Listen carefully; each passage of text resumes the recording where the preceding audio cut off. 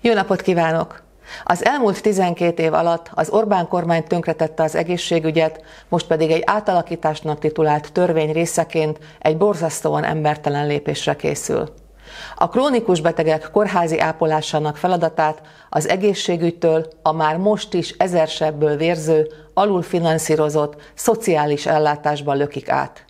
Így azonban szakorvosi döntés alapján a krónikus betegeket kirakhatják a kórházakból, hogy ápolási intézményekbe, például idős otthonokba vigyék őket.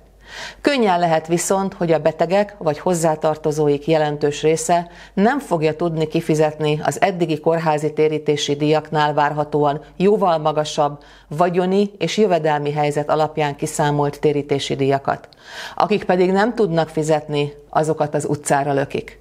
Az árnyék kormány szerint az Orbán kormány megfizethetetlenné teszi a krónikus betegek ápolását a megélhetési válság kellős közepén.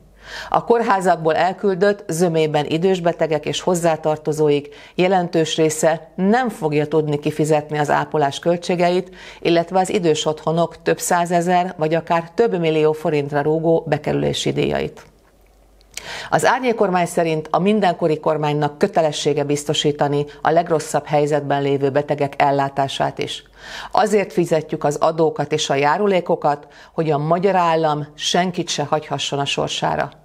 Szociális és nyugdíjügyi árnyékminiszterként értetlenül állok azelőtt, hogy miért éppen az idős, krónikus betegek ellátásán akar megszorítani a rendőrtábornok Pintér Sándor, akire belügyminiszterként a szociális ellátást is rábízta Orbán Viktor. Az önkormányzati idős otthonokban nincs elegendő férőhely, a hozzátartozók már most is hatalmas várólistákkal szembesülnek. A törvénytervezetből pedig az sem derül ki, hogy fizikailag hová kerülnek a kórházból elküldött betegek, és még rengeteg ennek ellenére is a bizonytalanság benne. Az árnyék kormány szerint az Orbán kormány megfizethetetlenné teszi a krónikus betegek ápolását a megélhetési válság kellős közepén. A kórházakból elküldött zömében idős betegek és hozzátartozóik jelentős része nem fogja tudni kifizetni az ápolási költségek, illetve az idős otthonok több százezer vagy akár több millió forintra rúgó bekerülési díjait.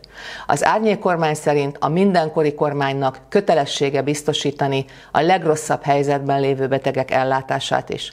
Azért fizetjük az adókat és a járulékokat, hogy a magyar állam senkit se hagyhasson a sorsára.